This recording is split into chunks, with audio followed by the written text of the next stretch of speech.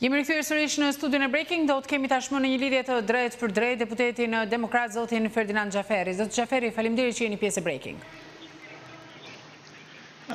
Faleminderit, po të lutem se kohën e kam në limite, jemi duke zhvilluar mbledhjen e Komisionit të Sigurisë Kombëtare. Po.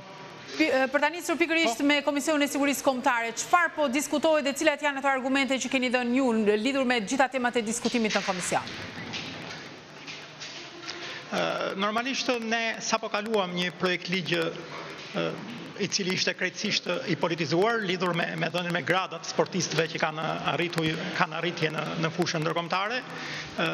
Në Komisionin e Sigurisë diskutuam se si qeveria donte që rilindjen ta ta vishte me uniformë ushtarake dhe të merrte monopolin e e, e dhënies së gradave major dhe kolonel, të cilat kanë dhe një një mbështetje financiare në në ushtri, kërkuam depolitizimin e e, e kësaj çështjeje, ndërsa tani që ka dhe shumë rëndësi pritet të fillojë mbledhja e Komisionit të Sigurisë Kombëtare me me ministrin e Mbrojtjes, me kreun e Shërbimit Informativ Shtetëror dhe ministren e Jashtme që me sa jam informuar nuk ka, ka Komision dhe kjo do jetë pika e debatit lidhur me deklaratat tejet në ekstrem të bëra nga presidenti i Serbisë Aleksandër Vuçiç dhe kryeministrja e Serbisë në dhjetorin e vitit të kaluar ku për herë të parë kërcënuan në mënyrë të drejtpërdrejtë për dërgimin e forcave serbe në Kosovë për të ripushtuar Kosovën. Gjatë dy viteve të fundit, në dy mijë e njëzet e njëshin dhe dy mijë e njëzet e dyshin, kemi pasur katër deklarata kërcënuese të presidentit Aleksandër Vuçiç, në fund dhjetorin e këtij e këtij vit, viti që lamë pas, arritën kulmin dhe në mënyrë të padiskutueshme ne kemi kërkuar në Komisionin e Sigurisë Kombëtare që drejtuesit e qeverisë të vinë të, të japin informacion kush është politika jonë e jashtme dhe kush është politika jonë e sigurisë në lidhje me me këtë kontekst që kaluam në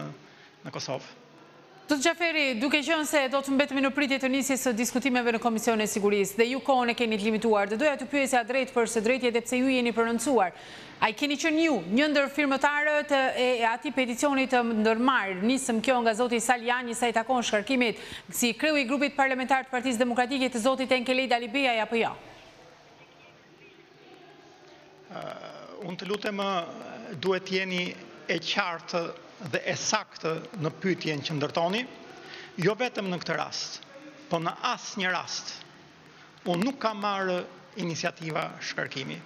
E ka ndërmarrë zoti Salianji. Unë kam ndërmarrë...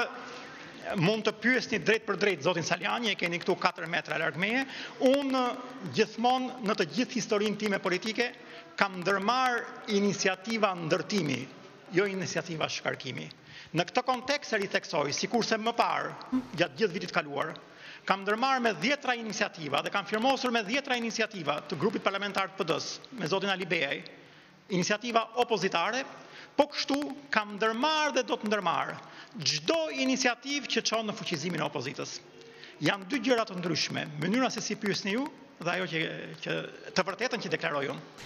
E qartë. Sa i takon kësaj të vërtete, zoti Xhaferaj, lidhur me atë bashkim të mundshëm të Partisë Demokratike, sa shanse ka që të ndodhë bashkimi i dy kaheve brenda Partisë Demokratike? Nuk ka rrugë tjetër. Dhe ky është hap i parë i një procesi. Në katërmbëdhjetë maj jemi në një sfidë direkte në përballje me mhm.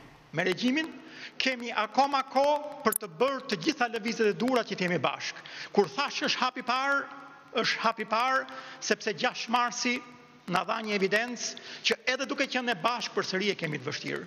Që do të thotë ne duhet të investohemi për të shkuar përtej vetes. Duhet të investohemi për të ndërtuar një hark të fuqishëm opozitar dhe brenda këtij harku mund të ketë rol për të luajtur si për Enkelejd Alibeajn, si për Lulzim Bashën, si për Ervin Salianjin, si për Sali Berishën. Por gjashtë marsi tregoi që si Sali Berisha më pak, Lulzim Basha akoma më shumë, nuk ia dalin dot që të mundin regjimin. Gjashtë marsi na dha evidencë, pra nuk është më çështje opinionesh, është evidencë, që ne duhet dalim përtej vetes për të ndërtuar një alternativë opozitare që shkon përtej përtej nesh. Ne duhet të jemi pjesë e rëndësishme e këtij procesi, po duhet të jemi më shumë se kaq. A ekziston vullneti, zoti Xhaferaj, ky vullnet kaq shumë i artikuluar përgjatë këtyre muajve nga secila palë? Unë mendoj që në mënyrë të padiskutueshme, derisa jemi këtu dhe nuk e kemi mhm. arritur, nuk ka ekzistuar vullneti. Por unë mendoj që vullneti do fillojë të kristalizohet dhe do bëhet domosdoshmëri edhe nga fakti që jemi përballë një regjimi. Të jesh një përballë përballë një regjimi dhe mos të investohesh për të ndërtuar instrumentat Për të dalë nga vetja, për t'u përballur me dinjitet me regjimin, do të thotë që o je pjesë e regjimit, o bashkëpunon me regjimin. Zoti Xhaferaj. Nga këtu duhet të burojë vullneti. Mhm. Ky është një vullnet i munguar nga të dyja palët apo nga njëra palë, sepse ka artikulime nga secili përfaqësues i palëve. Në mënyrë të padiskutueshme, deri tani ka qenë më shumë vullneti i munguar nga ata që quhen grupimi i Foltores. Ata u nisën me një turavrap të paprecedentë, bënë zgjedhjet në parti pa pasur një konsultim të gjerë, dhe të gjithë e dimë se si i bënë ato zgjedhje, me dhjetëra e dhjetëra probleme. Qofse doni akoma më shumë evidencë, jua prodhoi mm -hmm. zgjedhja e forumit rinor në Partinë Demokratike më shumë evidencë. Ju në media i keni i keni po. përcjell. Qofse doni primaret, që ata ngulën këmbë për primaret e prodhuan dhe primaret. Më falni se Edhe primaret, më falni se ra në... Pa problem, zot Xhafer. Edhe primaret provuan evidencë, pra në këtë, po, pra në këtë, në këtë kontekst, më shumë vullnet duhet nga ata që në mënyrë të natyrshme në 6 mars u provuan si shumicë në raport me ne, po jo si shumicë në raport me Edi Ramën. Në këtë kontekst është detyrë e tyre në radhë të parë që të ekspozojnë domosdoshmërinë për të lëvizur të gjitha instrumentat që ne të kemi kandidat të përbashkët në zgjedhjet e 14 majit. Primaret ishin një instrument problematik që deri diku ishte një iniciativë e tyre që unë do ta quaja pozitive brenda zhvillimeve të opozitës, po nuk do të thotë që kudo janë zgjidhja e duhur. Në qoftë se deri me katërmbëdhjetë maj, në shumë bashki, të gjitha palët bien dakord që një kandidat tjetër mund të performojë më mirë se kandidati i primareve, kjo do të thotë, që të investojmë përtej vetes për të gjetur mundësitë maksimale për t'u përballur me regjimin. Përballja me këtë regjim në këto kushte që është sot opozita, zoti Xhaferaj, si e shikoni ju pritshmëritë, cilat janë pritshmëritë tuaja në zgjedhjet e katërmbëdhjetë majit? Unë mendoja, unë mendoj që në, në mënyrë të padiskutueshme opozita po kalon për te problemet e saj, po mendoj që fundi është arritur. Nga sot e mbrapa do shikoni vetëm ringritje të opozitës. Pushteti po vazhdon me arrogancën e tij. Hm? Opozita nuk ka ditur të lëvizë si duhet për të ndërtuar aleancat ndërkombëtare. Nuk ditëm. Dhe do, do ta quaja turp për opozitën.